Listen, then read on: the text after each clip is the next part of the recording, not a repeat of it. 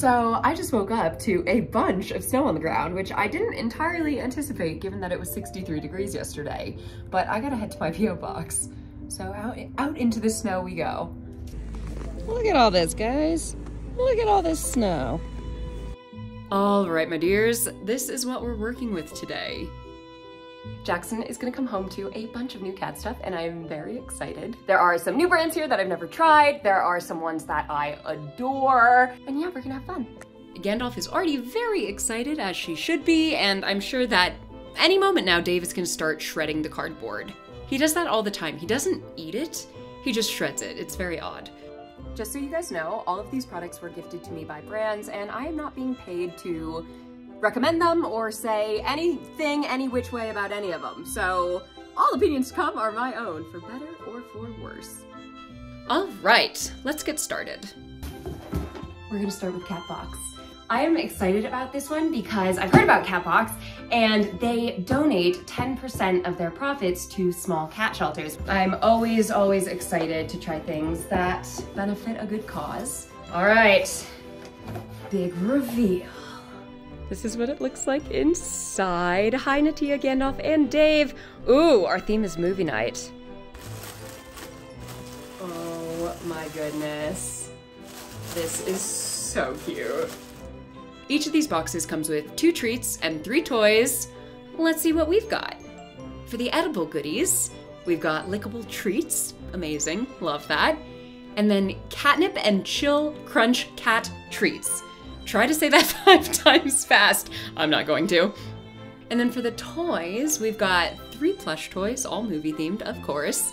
Movie glasses, a little projector reel, and popcorn. These are so cute, and I'm also realizing that I haven't been to the movies in I, I don't even know how long. So long. Cat oh! Catnip and chill! Like Netflix and chill, but better. All right. Hi, Pumpkin. Hi. Ready? Oh, good girl. All right. Good girl. You want yours, bud? Buddy. Oh, good boy. Oh, Gandalf likes them. She doesn't like a whole lot of treats, but... Usually as far as like hard crunchy treats go, Gandalf isn't... She could kind of like take it or leave it. She's, she, oh, she's licking my finger. She really likes these. Do you want another one? Yeah, good girl. Natia and Dave are, oh, good boy. They are easier to impress, but Gandalf is, Gandalf is not. Okay, and this is from, oh, hi. This is from Shameless Pets. And over 20% of this formula is made with upcycled ingredients. I love that. Get it, come on, good girl. Oh, I didn't realize she was, ready? Go get it. Dave, that, it just hit him in the face. What about this? I'm sorry, that is so cute. Okay, again, guys, this is Catbox. Love it. I don't know what this is, but Natia has heard some crinkles and she is excited. Oh my God, cool. Okay, this is Tractive GPS tracker for cats. Let's see what we're working with here. I'm going to reserve my judgment for now, but if this works well, I feel like it could be a really awesome gift for uh, like a friend when they get a new dog. A dog warming gift, if you will. Even with indoor cats, I've been thinking of the ways in which I'm going to be able to use this.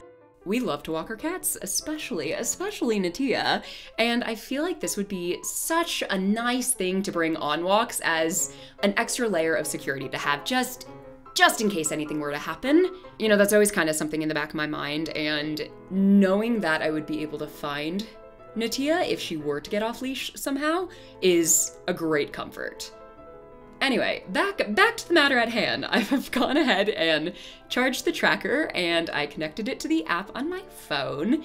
I don't actually have a cat collar on hand, so I am going to improvise and use a tape measure so we can figure out how this works together. This part is the tracker itself, and as you can see, it's rather small. I'm actually gonna weigh it, just, just, just because I'm curious. This is the scale that we use to measure coffee. All right.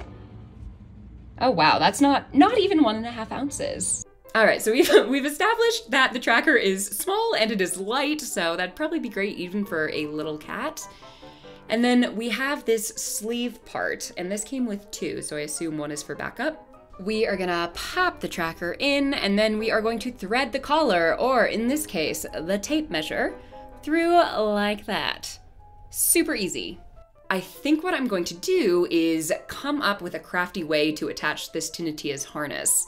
It's like negative two degrees outside today, so we are not gonna be going on a walk right now, but just just to see how fancy schmancy this gadget actually is, I have been moving the tracker around my house periodically, and I want to show you how that shows up in the app. Granted, I've never tried a pet GPS tracker before, but I feel like this is really sensitive. And that's fantastic. That's exactly what you want, because if you do have to use it to find your animal, you're not going to find a little cat wearing this if there's a big margin of error. So the accuracy with this bodes well. I will definitely report back after we take Miss Natia on a walk with her fancy new tracker. What's in the box? I don't even know what movie that's from. What's in the box? I feel like I reference it all the time and I I don't know what it is. no! I have been wanting one of these for so long, guys so long. Oh my god, I'm so excited about this. Okay, this is from GlowTrack, collars and cameras for cats. And on the back it says, see the world from your cat's point of view. Finally, a camera small enough for felines, the GlowTrack Cat Cam is a simple way to keep tabs on your tabby. Before we set this camera up, I do want to just give a shout out to the brand really quick because I don't think I have ever seen a company include instructions centered around a cat's comfort. I love, love, love, love that they include this. The people who made this obviously know cats and obviously love them, and I really appreciate this sort of cat forward guidance here. I think that's a really wonderful component to include. I watched the CatCam's short instructional video and have decided to give Natia a go with it first. Natia gave it a good sniff, a good lick, and then she let me put it on without a complaint.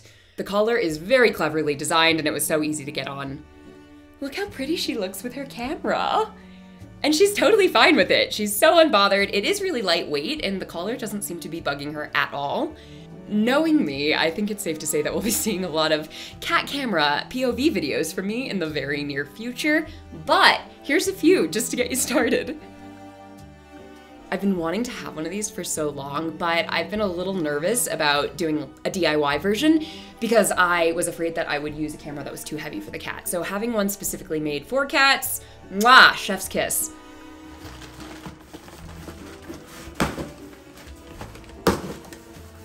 What's in here?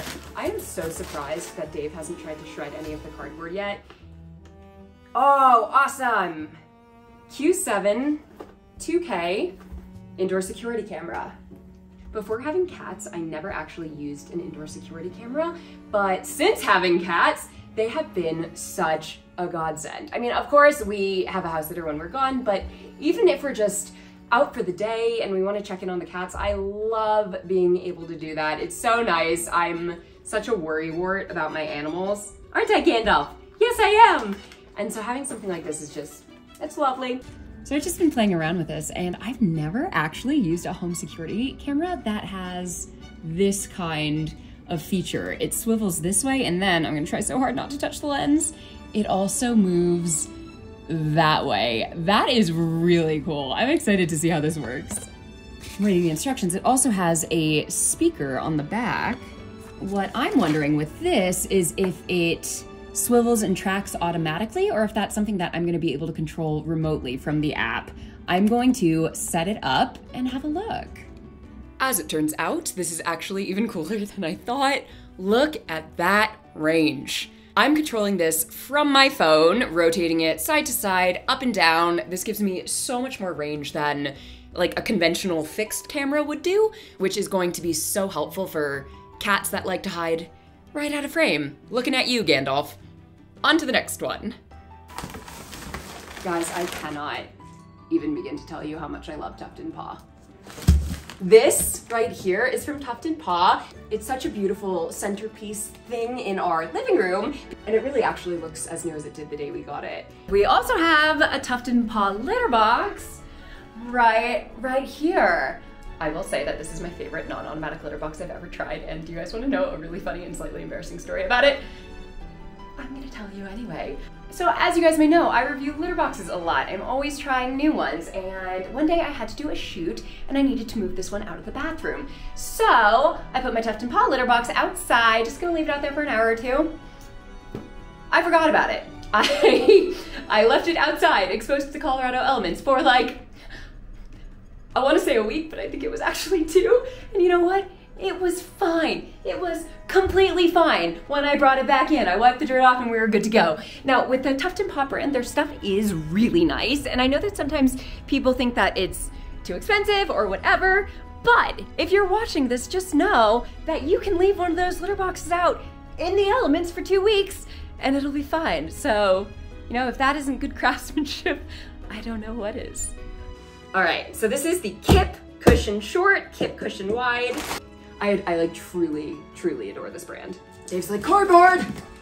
Ooh!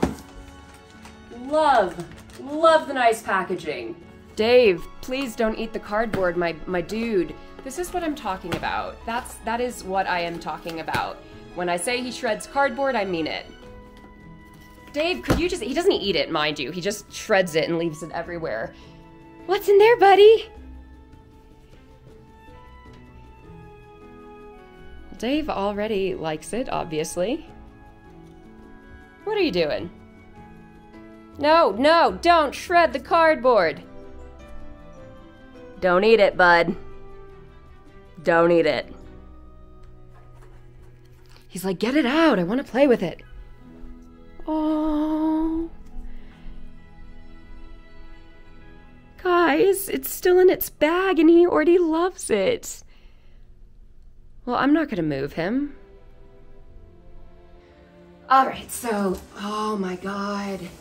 Tuft & Paw, if you guys are watching this, can you make one of these human size for me, please? It's so soft. Another thing, I'm a, I'm a Tuft & Paw stand, can you tell? Another thing I really love about Tuft & Paw is the fact that all of their stuff is really attractive. I think there's this misconception that if you have a bunch of pets, you can't have like an attractive home or an aesthetic home or whatever. And frankly, that's not true. And I loved Tuft & Paw because they make pieces that are well made and that also just look really, really attractive in your home. Gandalf, baby, you gotta open the box. Dave, uh-oh, uh-oh, oh! Big reveal. Oh, did they send us a big one and a little one? I love this. Well, Dave, obviously we have the Dave seal of approval. Dave, it's really hard to film when you just sit directly on the logo. Oh, buddy, do you like your bed? Don't eat the cardboard. Dude.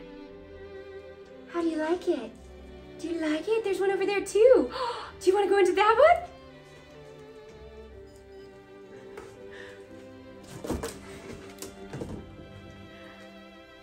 It's just precariously balanced, but Dave's like, it's fine, it's all fine.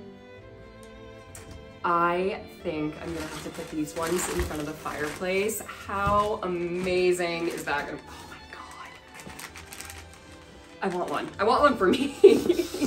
I want one for me. That is beautiful. Dave, do you want me to put it on the ground so you can lay in it a little bit more easily? Who needs who needs a human reviewer? Just look at how the cats respond to it. Is that lovely? This is what you deserve. It's what you deserve, my baby. I love this because like multiple of them can fit in here and then we have like the perfect Natia sized one right there. Look at these two in their little beds in front of the fireplace. Like, I'm sorry, are you kidding me? How good is that? That is amazing. You may have glanced these in the video with Natia's camera, so I'm just gonna show you again because look at her. She is perfect, she's beautiful. What's in here? So this one I actually wasn't supposed to open quite yet. This is for a different partnership. So this one's gonna be a mystery surprise for now. Ha! Well, guys, this has been such fun. Thank you for joining me this week. I have really been enjoying posting more on YouTube, and now that I've got the ball rolling, I am definitely going to continue doing so, and I hope you guys join me. So, thank you again. Jackson's coming home tomorrow, so stay tuned, and I'll see you next time.